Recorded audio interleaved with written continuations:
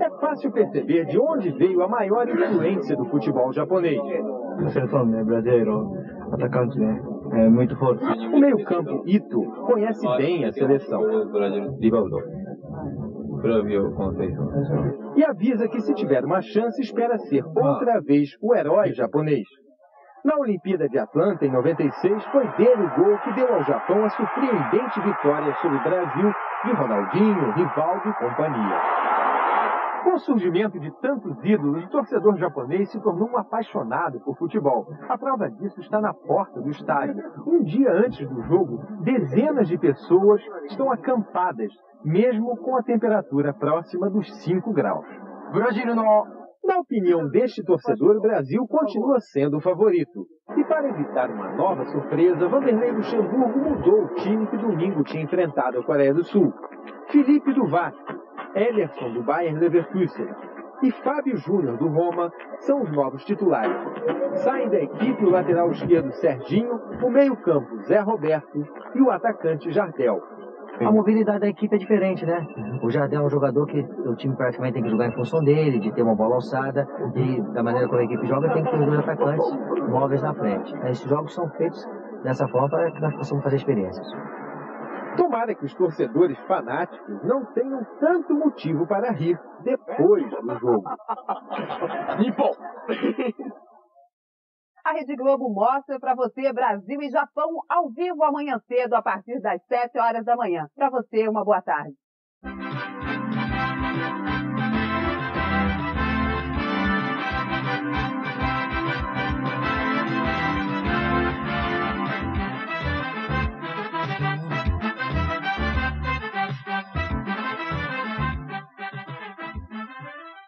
Voltando, está sendo executado, cantado a capela, o hino nacional brasileiro.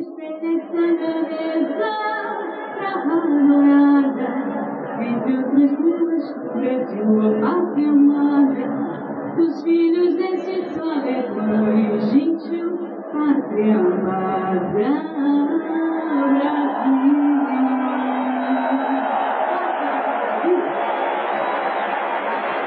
Aí, portanto, trecho final da execução do hino nacional brasileiro, Cante a presença da torcida brasileira, são muitos os imigrantes brasileiros hoje no Japão que foram em busca de uma nova vida, de melhores condições de trabalho. Alguns milhares estão aí no estádio e nós vamos ao hino nacional japonês.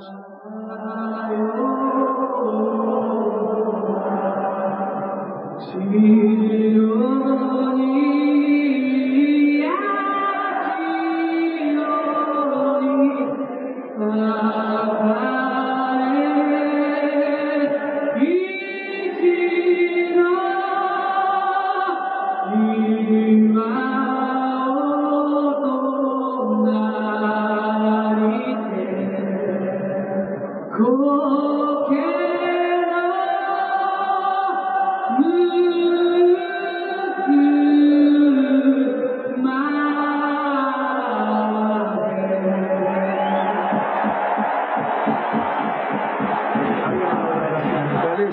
Nacional japonês, quase que um lamento, mas muito bonito, uma melodia muito bonita e é sempre muito tocante. Eles cantam realmente com, com muita, muito fervor, com muita emoção. Japão e Brasil, portanto, a segunda apresentação deste rápido giro da seleção brasileira pela Ásia. No último domingo, o Brasil foi derrotado pela seleção da Coreia por 1 a 0, um jogo daqueles para passar borracha, como também o jogo de 80 de 96 em Miami, na estreia da seleção brasileira na campanha olímpica de 96, quando o Brasil perdeu de 1 a 0 para o Japão. Também é um outro jogo para passar borracha. Aliás, foram quatro jogos até aqui em seleções principais com quatro vitórias brasileiras. Se contarmos aquele confronto olímpico, aí tivemos uma vitória da seleção japonesa. O último jogo foi um amistoso em Osaka, no Japão, em 97, em agosto de 97. O Brasil venceu por 3 a 0. Aí você está vendo jogadores japoneses, a jovem seleção japonesa. Hoje Paulo Roberto Falcão vai poder falar com propriedade, como sempre, mas mais ainda, porque recentemente ele foi técnico da seleção japonesa, lançou alguns desses jogadores que estão aí nessa seleção. Até ano 94, o Falcão foi técnico da seleção brasileira, da japonesa, e iniciou esse trabalho. Foi técnico da seleção brasileira em 90, em 91 e depois técnico da seleção japonesa em 94. Você está vendo aí Rivaldo mais uma vez a esperança de que ele possa pelo menos aproximar o seu futebol na seleção do fantástico futebol que ele joga no Barcelona. Em relação ao que ele joga no Barcelona, está devendo muito o Rivaldo na seleção brasileira. Vamos lá, vamos aproveitar e vamos confirmar os dois times. Jogadores sendo aí cumprimentados. Vamos começar com a seleção japonesa. Vamos lá, o goleiro é Shimoda, número 20. Ihara, número 4, é o líbero. Os zagueiros, pela esquerda, Akita, número 5. Pela, pela direita, 16, número Saito. O número 3 é o lateral esquerdo, Soma. O número 15 é o lateral direito da Saka. No meio-campo tem o número 10, Nanami. O número 7, Ito. O número 8, Nakata. E na frente nós temos Nakayama com o número 9 e Jo com a número 11. O técnico é Philippe Troussier, o francês que era técnico da seleção da África do Sul na última Copa da França em 98. Essa seleção japonesa e vamos à seleção brasileira do técnico Vanderlei Luxemburgo com algumas alterações em relação ao jogo do último domingo. Rogério é o goleiro número 1 um, aí não mudou nada, Capu, lateral direito, capitão do time número 2, o Divan número 3, César número 4, até aí tudo igual. Felipe número 16 no lateral esquerdo no lugar de Serginho. No meio campo, Flávio Conceição com o número 5, Emerson com o número 18 no lugar de Zé Maria, perdão, o Emerson jogando no meio campo. Juninho com a número 11. Rivaldo com a número 10. Amoroso com a número 7 na frente. E Fábio Júnior com a número 17. O Emerson no lugar do Zé Roberto. E participou daquela partida contra a Coreia. As alterações são, portanto, Felipe no lugar de Serginho. Emerson no lugar de Zé Roberto. E Fábio Júnior no lugar de Jardel. A opinião é de Paulo Roberto Falcão.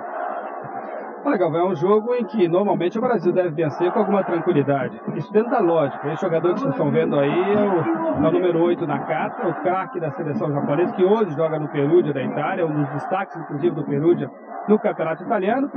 Esse é o capitão Ihara, o líbero, talvez o jogador mais velho dessa seleção. Mas é um time de muita correria, é um time de que não tem a marcação forte que, tem, que teve a seleção da Coreia.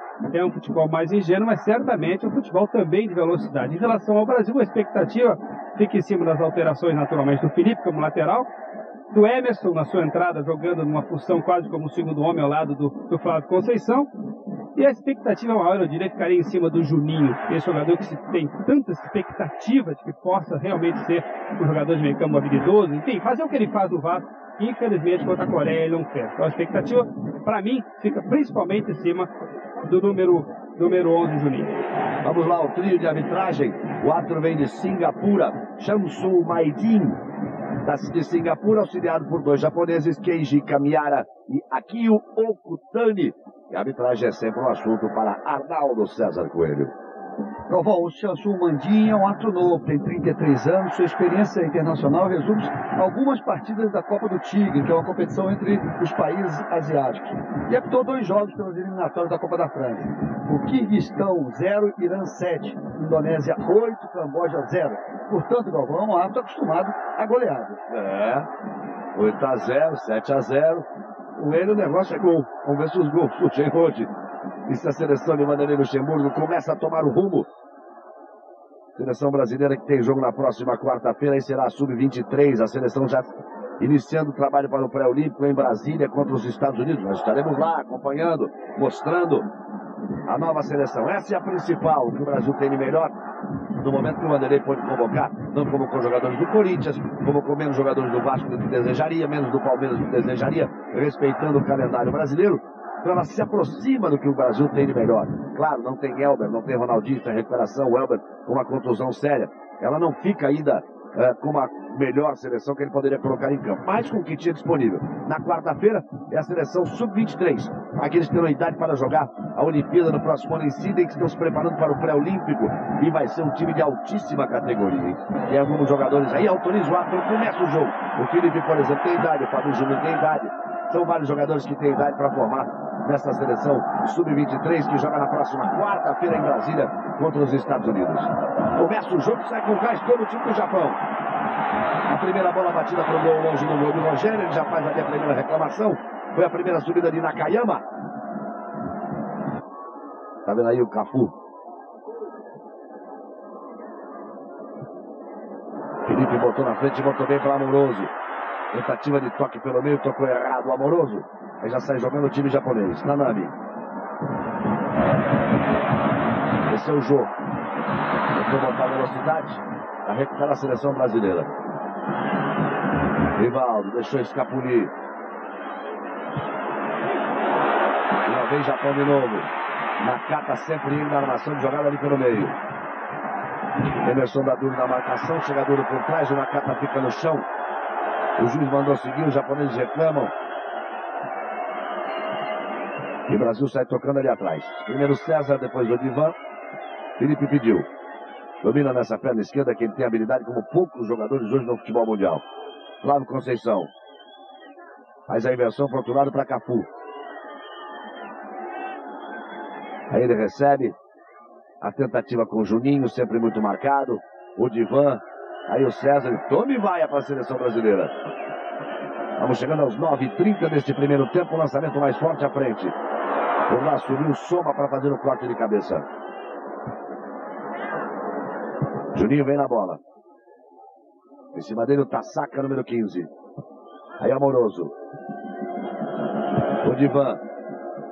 O Brasil gira a bola, não acha o caminho da penetração, mas pelo menos tem o domínio da bola. Joga com mais tranquilidade, ministrando melhor do que em relação ao jogo da Coreia.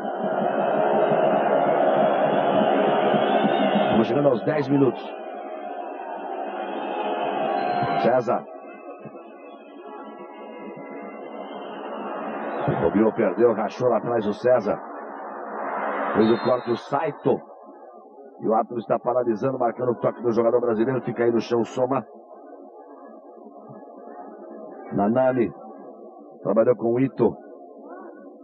Aí o Saito. No meio para ninguém, chegou dividindo o Tasaka. O último toque foi do Tasaka. E o lateral para o Brasil. Passamos dos 10 minutos desse primeiro tempo. Quando dá para sentir alguma diferença entre o jogo do Brasil com a Coreia, confesso que sentindo a seleção enrolada e sem inspiração. Sim, com muita dificuldade de sair jogando. A jogada individual, fez o Felipe aqui, pode ser uma boa alternativa. O importante é que o Brasil tenha velocidade na saída da bola. Agora, não adianta ter velocidade porque o Japão está todo fechado. Tem que ter velocidade na hora que eles estão desarrumados. Agora tem que ter calma, fazer a bola andar, mas os jogadores têm que aparecer um pouco mais. O desentrosamento dificulta isso. Os jogadores não se conhecem. Mas um, dois e virar jogo, me parece a melhor alternativa. O que não pode é ficar muito tempo com a bola no pé porque eles atropelam. Arnaldo, será que já avisaram esse juiz que existe jogo na falta na regra ou não? O problema todo é o seguinte, esse árbitro marca a falta quando é falta, ele não marca encenação, teatro, cinema, o que está vendo é que o jogador brasileiro, ele encena, ele quer se, se, se apresentar, ele quer se demonstrar, e o juiz não está indo na onda não. O juiz não é fraco não, Galvão, o juiz interpreta corretamente. Isso aí não foi falta agora no contra o Brasil, não? Galvão, presta atenção que ele está deixando o jogo correr, é uma questão de critério. Bom, a hora que quebrar uma perna, ele vai pro hospital consertar a perna do jogador. Tocando o time japonês. Por um lado e pro outro. Já, o Brasil já fez duas faltas fortes que ele não deu. Lá vem Amoroso, a chance brasileira, botou na frente. Fez a fita, bateu pro gol.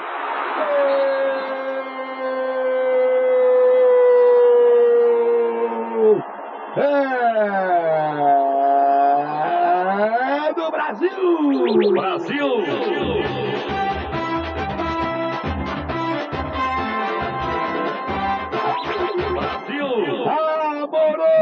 Amoroso, número 7, essa camisa cai bem nele.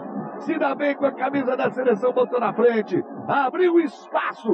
O goleiro saiu, ele bateu de direita e saiu pro abraço. Amoroso, número 7, cada dia mais. Dando o seu recado ao Vanderlei Luxemburgo. Aqui, amigo, você decida. Ronaldinho, Elber, Fábio Júnior, Jardel, quem você quiser. Tem um lugar meu. Amoroso, um para o Brasil, zero para o Japão aos 12 minutos do primeiro tempo. Tem jogador que chega na seleção e tem jogador que chega na seleção, Falcão. É verdade. O Amoroso aliás, devia estar na seleção há muito tempo. Teve um problema de lesão sério, ficou praticamente um ano parado, depois recuperou seu grande futebol. Acho também que deveria estar na última Copa do Mundo, pelo talento, pelo futebol que ele vinha apresentando. Repara o arranque, ele já joga no pé de apoio do zagueiro, do último zagueiro, que é o Akita, consegue fazer o gol maravilhoso. Agora também tem que ser elogiado, Galvão, a pressão que o Flávio Conceição deu no jogador japonês, roubou a bola na saída de bola, roubando a bola ali, o, Amoroso ficou cara a cara com o outro. Esse é outro, né? Que sempre vestiu bem essa camisa da seleção, o Flávio Conceição. Desde a seleção olímpica. O Amoroso, olha o toque na bola, botou na frente. para Juninho. Capricha, Juninho. Ótimo lançamento. Vai soltando o Juninho, se ele soltar é importante. Vem bola pra área. Rivaldo, ajeita no peito. Tem a chance. Foi para o juiz, paralisa. E marca a falta do Rivaldo. Tá lá, o Crucefalo intérprete do lado de lá. Ele tava falando com o Soma. É complicado ser intérprete. Complicado é o treinamento, Galvão, porque você imagina, você passa para o intérprete, ele passa para o jogador, o jogador devolve para o intérprete, o intérprete devolve para você. Então um treino que demoraria uma hora e meia, duas, demora três horas e meia, quatro horas por causa disso. Aí Rivaldo botou na frente a marcação do Nanami. Abertura, bola batida pro gol. Shimoda cai para trás. Tá soltando, Juninho. Tá soltando. Pernambucano Juninho, garoto esperto craque do time do Vasco. Olha como tentaram puxar a camisa do Rivaldo. Ele deixou bem pro Juninho, já chegou batendo de primeira. Aí vai mostrando personalidade, a bola já sai ali desenhando um S. Já é outro Juninho completamente diferente. E o Vanderlei deve ter sentido bem, né, Falcão? Chegou até a anunciar que faria alteração, tirando o Juninho, deixando o Zé Roberto, colocando o Emerson, botou o Emerson no lugar do Zé Roberto. E para dar mais tempo para essa adaptação do Juninho, porque pode ser um jogador importante, o Brasil continua carecendo desse homem de ligação pela direita. E, e, o Juninho, pela personalidade dele, não é um jogador que vai chegar na seleção arrebentando. Então, se o Vanderlei confia nele, é um jogador talentoso, tem que dar tempo para ele ir se adaptando. Até que manteve ele. Acho que o Vanderlei pensou bem manteve, não está jogando que joga no Vasco, é verdade, mas é um jogador que vai precisar de tempo na seleção para render. Pelo menos aquilo que me parece do Juninho à distância. E já está melhor que no jogo com a Coreia, já com mais personalidade, se apresentando mais no jogo, batendo para gol. Aí o Capu. Vamos chegar aos 27 minutos do primeiro tempo, 1 um para o Brasil, 0 para o Japão. Emerson faz o recuo de bola, o Divan. Aí o César, o toca a bola lá atrás, o japonês enlouquece, começa a vaiar. Ele quer espetar, ele quer isso aí, ó. Aí, já, as mais já se transformaram em aplauso. Flávio Conceição. Gira, gira bem na direita para Capu. Escorregou, caiu Soma. O lançamento era para o Fábio Júnior, subia por lá a bandeira do Aquino Okuyani. O juiz mandou dar sequência. Essa foi legal, hein, Arnaldo? Deu vantagem. Por isso que eu estou dizendo, o juiz não é bobo não, ele é esperto, apesar de ser de Singapura, o futebol lá que não existe, ele com 33 anos para ser convidado para uma festa dela, uma festa desse tipo, é porque ele deve ter alguma coisa. Vamos ver. Anderson jogada para Ito, dando apoio aqui pela direita. Faz o toque no meio, é bem feito. E o Rogério sai do gol esperto antes da chegada de Nakayama. Mas aí reside um drama, hein? Porque no jogo com a Coreia também o Brasil apresentou isso e agora Nessa bola final na série do Rogério, não. É a bola que o jogador recebe livre ali dois, três passos da entrada da área. E normalmente é o Nakata, nesse, nessa situação esse aí, mas na outra situação que deu toque foi o Nanami, que é o número 10 habilidoso com o pé canhoto.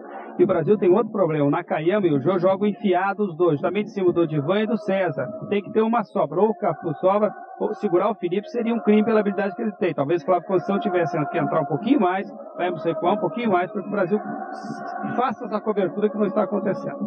É o Flávio mais para trás dos zagueiros, quase como se fosse um líbero ali. É, ou o Cafu segurar um pouquinho mais para sobrar o Divan. Aí a saída por outro ângulo, a câmera invertida que nós também usamos aqui, que a televisão japonesa também usa lá, mostrando todos os detalhes do lance para você. Vamos passando aí dos 28 minutos. Um assunto o Falcão também, porque o Jardel quase não apareceu no primeiro jogo, o Fábio Júnior quase não aparece agora. Será que o esquema está sacrificando? Aí vem Rivaldo, botou na frente, pé direito, não é o bom.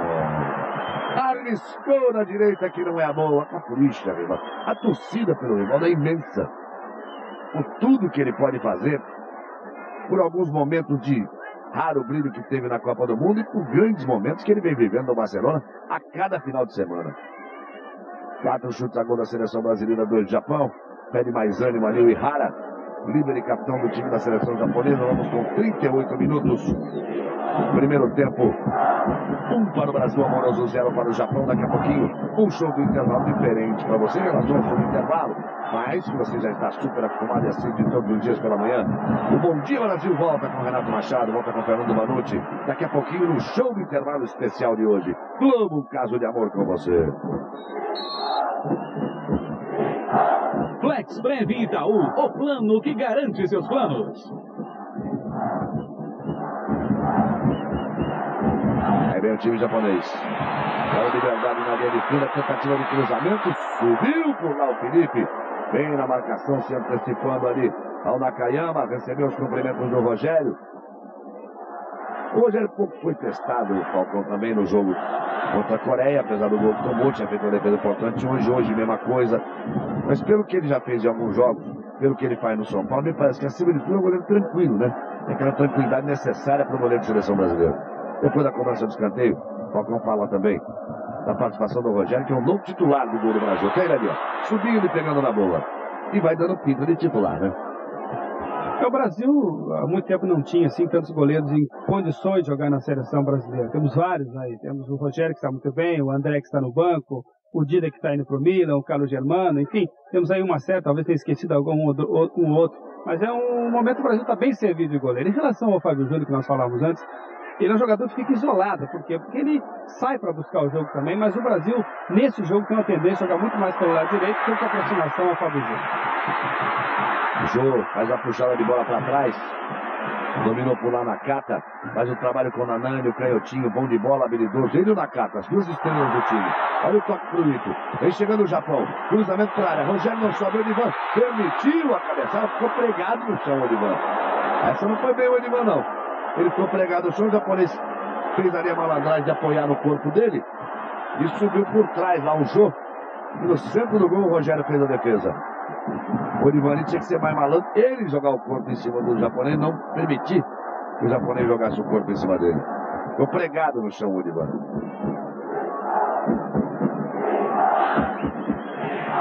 E aí a torcida grita, Nippon, Nippon, Nippon. Japão, Japão.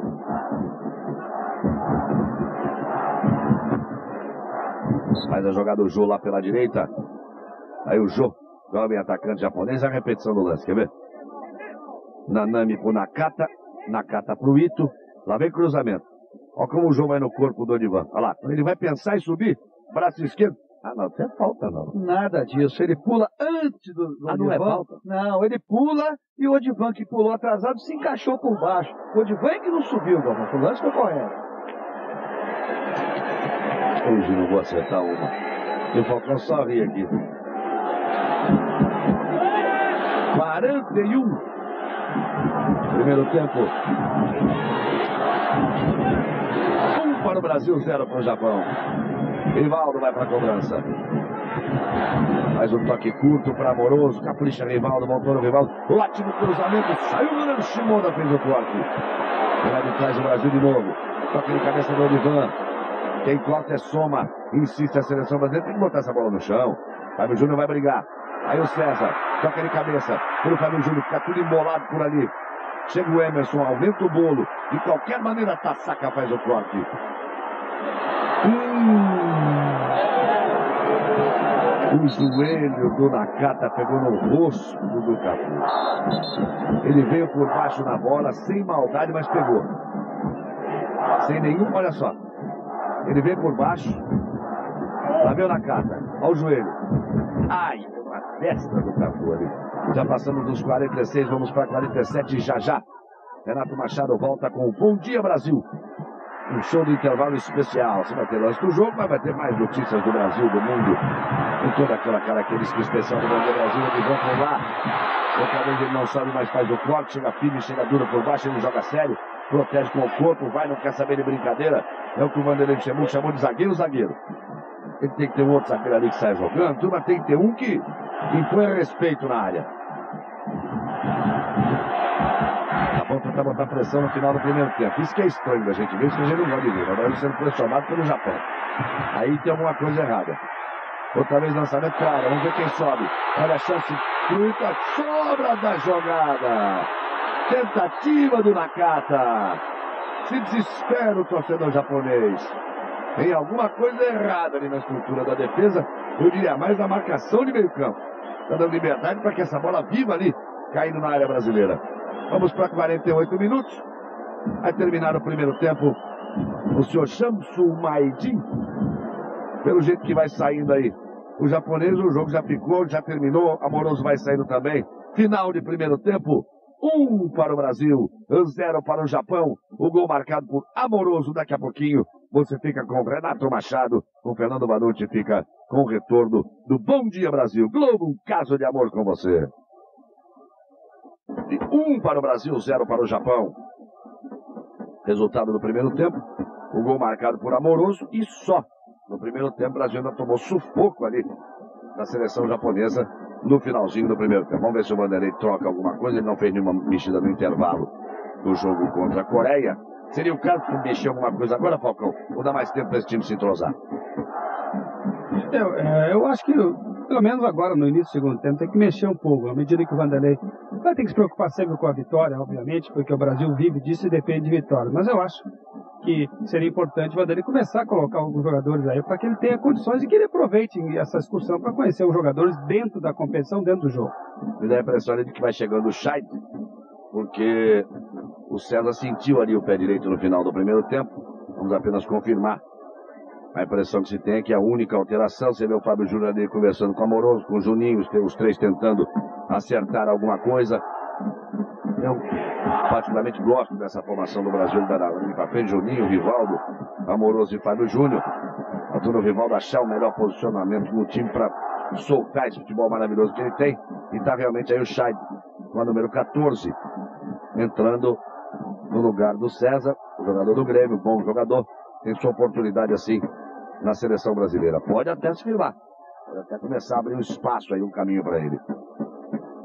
Time japonês dá a impressão de ser o mesmo, caiu na carta, à medida que o jogo for passando a gente vai vendo, tá lá o número 16 Saito, o número 9 Nakayama, autoriza o ato.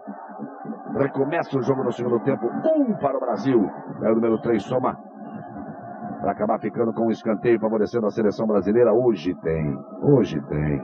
Imperdível depois de suave veneno em cinema especial. Tem Central do Brasil. Grande sucesso, talvez da história do cinema brasileiro. Duas indicações para o Oscar. Hoje tem Central do Brasil. Olha o cruzamento, bola para a área. Gol!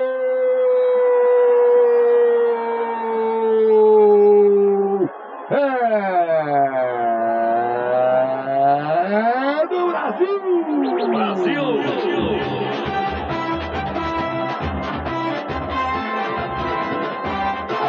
Brasil! Emerson! Número 18! No escanteio cobrado por Rivaldo, subiu o goleiro Chiroda, não achou nada. Emerson esperto, ela passa pelo goleiro, passa pelo amoroso, pelo Odivan e o Emerson lá atrás, toquinho de cabeça, botou pra dentro do gol e saiu pro abraço. O Chay estava ali junto dele. Emerson, mais um gol para o Brasil, segundo gol do Brasil. Dois para o Brasil, zero para o Japão. Começa bem a seleção brasileira no segundo tempo. Logo de cara faz o seu segundo gol para se soltar, para armar um bom resultado. O último jogo do Brasil e Japão, eu repito, 3 a 0 para a seleção brasileira. Isso em 97. Aí o Juninho, na esquerda bate Juninho, na direita bate Rivaldo. Ele bateu curto, recebeu de volta, faz o cruzamento, toque de cabeça. Subia ali pelo meio Rivaldo para fazer o toque de cabeça. Também ele é fundamental, tem altura. Aliás, Arnaldo, cadê ver uma explicação em relação ao jogo anterior? Essa, aproveitar essa chance aí que o, que o Rogério se, se apoiou na trave. No jogo contra a Coreia, o goleiro coreano pegou uma bola e ia caindo para dentro do gol. E o atacante, o, o, zagueiro empurrou ele de volta para que ele não caísse dentro do gol. Eu perguntei a você se era válido, você disse que era válido, mas do, de lá para cá foram muitas conversas. Então pode fazer tudo, pode apoiar nas costas dos outros para subir. Como é que é esse negócio? No jogo contra a Coreia, o goleiro fez uma defesa, ia caindo para dentro do gol e o zagueiro coreano escorou com as mãos e não permitiu que ele caísse dentro do gol. Isto é legal. O que não é legal é o zagueiro se apoiar no goleiro para cabecear uma bola. Aí a atitude antidesportiva é tiro indireto com uma atitude não esportiva. Por isso que esse lance causou grande polêmica no jogo de domingo. Apesar de você dizer sempre a regra é clara, nada. Olha o amoroso, botou na frente, levou vantagem, bateu, saiu à esquerda do goleiro Stironda. Aí a entrada, portanto, do Moriaca. Vai ter a responsabilidade da. Brasil começou a apertar. O técnico já muda a marcação. Lá vem o Japão, bola lançada para a área. De qualquer maneira. Tentou Wagner Lopes o aproveitamento, bateu muito mal na bola. Rivaldo já faz o domínio. Aí o Felipe já vem na habilidade, sai do primeiro, toca na frente. Rivaldo. Não foi bom o toque do Amoroso, mesmo assim dá certo pro Brasil. Emerson mais atrás, o homem do segundo gol. Aí o Capu. Juninho caindo pela direita. Aí se firmando, tentando encontrar o futebol que tem no Vasco. Olha como ele está. Olha a enfiada de bola que fez para o Capu. Não vale a complementação. O gol do Fábio Júnior, porque subiu a bandeira do Queijo Camiara para apontar ali o impedimento do Capu. Nessa bola enfiada aqui pela direita, tenho lá minhas dúvidas quanto a esse impedimento. Mas não tinha impedimento de jeito nenhum. Tem um cidadão lá no meio que dá condições, Arnaldo. Mesma linha, bobeou o bandeirinha, muito perto dele, ele errou. Bandeirinha japonês, viu o Capu na frente e levantou. Não houve impedimento. É que ele viu o Capu em relação ao marcador dele lá no meio. Esse exatamente que acabou de entrar, o Moriaca, que dava condições ali no meio, o número 18, dava condições para o Capu. Isso seria muito difícil não sair o terceiro gol, que a enfiada de bola foi precisa ali para o Fábio Júnior. Pisou na bola o Keiji Kamiara, o bandeira japonês que corre aqui pelo lado principal no trabalho dos bandeiras. Wagner Lopes faz o toque atrás pro Tassaca, botou na frente a sobra do Wagner Lopes. Ele bate bem pro gol, arriscou de pé direito o Rogério. Cai firme para fazer a defesa. Globo, um caso de amor com você. Topper, a marca oficial do brasileiro. O Galvão, que normalmente a seleção brasileira tem alguma dificuldade no setor defensivo de organização, mas na frente os jogadores acabam se achando, porque tem talento, tem habilidade. No lance anterior do Fábio lá. Vamos lá, porque o Rivaldo já tocou de lado, já veio Juninho, já botou pro Fábio, prende a jogada na linha de fundo, evita a saída, tem o Rogério mais atrás, tentou a pinta, deu duro em cima dele o Moriaca, que entrou como livre, entrou especialmente para marcar ali o Fábio Júnior. Insiste o Brasil, Rogério, Juninho, Aí o Emerson, vem tocando a seleção brasileira. Flávio Conceição, Rivaldo, dominou bonito, saiu do meio de dois, tentou botar na frente, leva vantagem. Esse é o Rivaldo. Aí sim, aí é o Rivaldo, pé direito, bateu! Shimoda cai para fazer a defesa. Grande jogada do Rivaldo, agora capitão do time. Ali sim, Falcão, da intermediária, olha o que ele faz. Aí sim, partiu para definir, ó. Saiu da marcação do Nanini, faz uma linda fita no Morioca, e pena que caiu no pé direito. Mesmo assim, ele bate bem para a defesa do Shimoda. Esse é o Rivaldo. Vai para cima na marcação do Flávio Conceição. Faz o toque para Wagner Lopes. Já chegou de van lá atrás. Depois que o Emerson ajudou ali pelo meio. Insiste o Japão. Péssimo passe de graça no contra-ataque do Brasil. Aí o Rivaldo. Olhou para fazer a enfiada de bola. Tentou aproveitar o homem que vinha de trás, que era o Juninho. Recua para o goleiro Shimoda. Ele bate de qualquer maneira. Aí outra vez Rivaldo. Tenta toque. Olha a chance do terceiro gol. Sai o Shimoda. Instituto do Júnior. O Amoroso ficou ali fora de campo. A bola foi pela linha de fundo. É escanteio. Globo, um caso de amor com você. Guaraná Brahma Light. Você numa boa, numa light. Aí vem Amoroso tentando a jogada. E sobre essa coisa do Rogério na direita, já que ele meteu o Capu, ele ontem chegou a declarar lá em Toque numa entrevista coletiva que num determinado momento ele ia botar o Rogério ali pela lateral direita para sentir, em caso de necessidade, né, Falcão? Tem que ter, já que ele vai partir com a convocação do lateral direito só, ele tem que sentir essa necessidade, esse momento, para saber como ele faz. Olha o cruzamento, bola fechada, pegou na trave!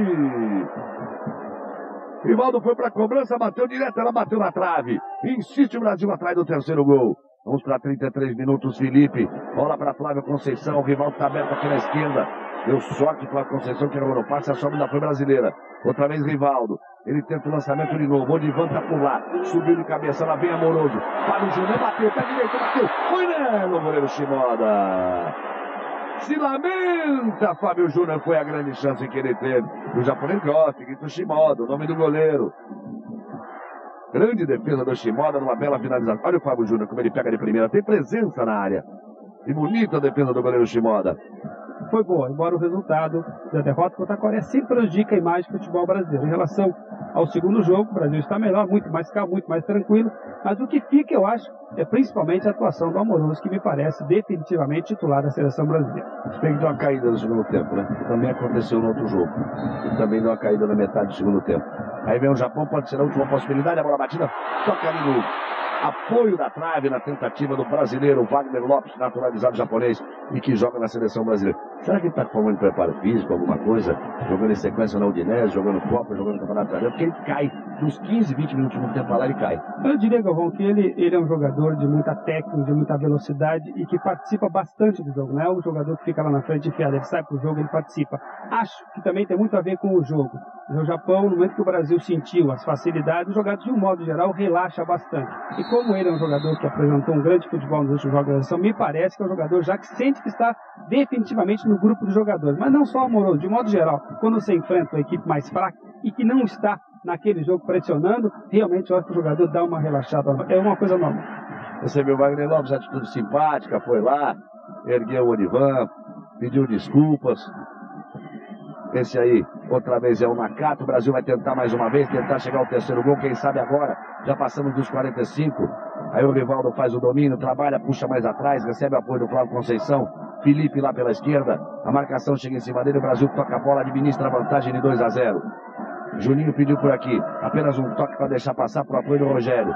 Volta no Juninho. Rogério de novo. Toca a bola, Brasil. Administra a vantagem. Espera o final de jogo. Dois para o Brasil, zero para a seleção do Japão. Olha a enfiada de bola na frente. A sobra, a tentativa do Rivaldo. Antes dele chegou. Ito para fazer o corte. Lá no Conceição armou ali uma bicicleta atingiu o japonês no finalzinho do jogo. O Nakata não gostou, não. O Japão vai para cima. Aí o Soma tenta o apoio. A enfiada mais na frente. Esse aí é o Yanagizawa. Yanagizawa, o campo ficou estreito para ele. Saiu 46 e 30, vai terminar o Shamsu Maedin. Brasil volta a jogar com a seleção principal, repito, 28 de abril, em Barcelona, contra o Barcelona, na festa dos 100 anos do Barcelona. Quarta-feira tem seleção sub-23, jogando contra os Estados Unidos em Brasília. Termina o giro brasileiro pela Ásia. Perdeu no domingo para a Coreia por 1 a 0. Vence o Japão agora por 2 a 0, mantém a escrita. Cinco jogos, cinco vitórias, melhora um pouco, começa a mostrar o futebol. É apenas o início do trabalho, que vai ter jogo contra o Barcelona, dois jogos contra a Holanda, até chegar ao início da Copa América, final de junho para julho, e depois a Copa das Confederações, os dois torneios importantíssimos neste ano de 99 de preparação da seleção brasileira. Dois para o Brasil, zero para o Japão. Você fica com a sequência da programação da Globo, agora com a Angélica e o seu Angel Mix. Globo, um caso de amor com você. Encarnação da luxúria, em forma de uma mulher, alma de ninfomaníaca, tá louca pra dar. Três descargas, três palavrões, loira do banheiro, você me dá tesão. Três descargas, três palavrões. Loira do banheiro, você me dá tesão, três